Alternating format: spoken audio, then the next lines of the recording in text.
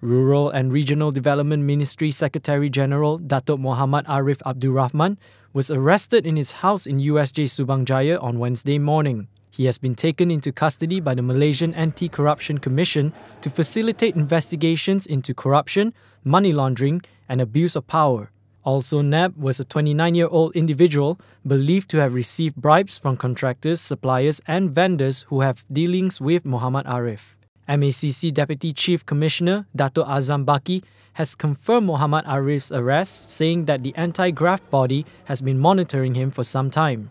Just days ago, Azam said that flying abroad in business class to play golf and liaisons with girlfriends and mistresses are indicators of corrupt officials. Muhammad Arif had just returned from a vacation in America. So far, MACC has seized gold bars and cash amounting to about 3 million ringgit during the probe.